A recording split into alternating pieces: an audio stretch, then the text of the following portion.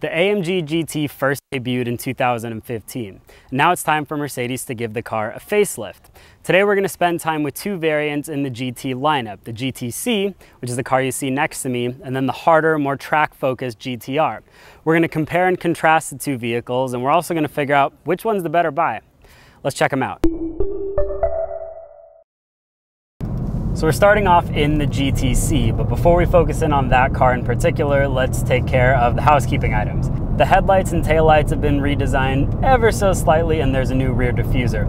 You wouldn't really be able to tell that it's a different car from the pre-facelift model until you get inside, and that's where all the big changes have taken place.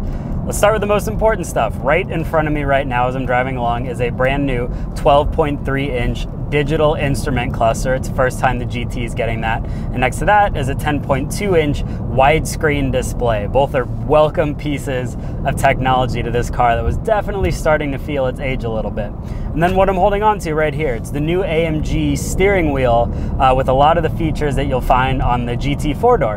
On the right hand side, you get a drive mode selector that you just twist from left to right. You can toggle between comfort, sport, sport plus, etc. You can switch between manual and automatic. You can take care of the exhaust. You can make the wing go up and down in the back. You can toggle with the suspension settings. It's all highly configurable. And I like that it's right in front of the driver as well. It's worth noting that those changes come across the GT lineup. They're not just for the GTC. So the GTC, how does it fit in the lineup? Let's start with the price. $150,900. It's $12,000 shy of the GTR and it's $35,000 more expensive than the base GT. Now, according to AMG, this is supposed to be the Autobahn bomber of the crowd. This is the car that's a little more subtle than that GTR with all of its crazy styling tweaks, uh, but still has high horsepower It can still get you going plenty fast. Immediately, the first thing that jumps out at you is that twin turbocharged 4 liter V8. It's the same engine you get across the entire GT range, it's just different states of tune as you go along with each car. It's that classic AMG soundtrack that you want out of a V8. It's low and it's not shouty, but it gets angry as you provoke it a bit. The transmission that you're working with is a seven speed dual clutch unit, which now is actually getting along in age. Uh, you have the, the newer nine speed units from AMG, which are a bit smoother, I have to say. This thing is no slouch, it's plenty quick on the downshift and it works well with the V8, but it's certainly missing just a bit of that edge that you get with those newer nine speed units. So what's so different between the C bumping up to the R? Well, let's start with power. 577 horsepower in the GTR, which is up over 550 in the GTC, and 516 pound-feet of torque over 502. 0 to 60 time 3.5 seconds instead of 3.6, and top speed is 198 miles per hour instead of 196 miles per hour in the GTC. So it's kind of like the GTR is like, eh, just that much better than you at everything. That said, what does it feel like driving the two back to back? The immediate difference is actually before you even get into the car. Just look at how insane the GTR is styled when compared to the C. And it's supposed to be that way. There's a fixed rear wing on the back.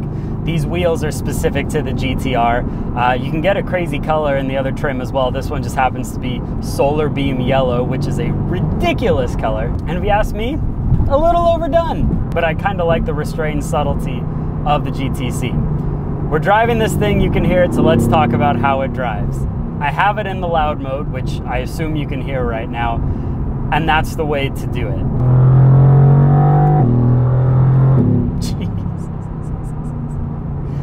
Oh my goodness. The biggest difference that you'll notice between the C and the R is the traction control system. This one is inspired by the GT3 race car. It's a nine stage traction control system. It's this little knob that sits right below the air conditioning vent. And once you turn the traction control off, you get to control this knob and decide how off you want it. Fully off completely or medium off, only sort of kind of off. It's up to you. And the only time you're ever gonna notice that is when you're on a track, which is what you're supposed to do with the GTR. That's the obvious thing. We knew that coming into this video, that if you take the car to the track, the GTR is the way to go. If you want more of an Autobahn cruiser, it's the GTC. The question that I had and wanted to answer is, is the R unusable on public roads? The answer to that is unequivocally no.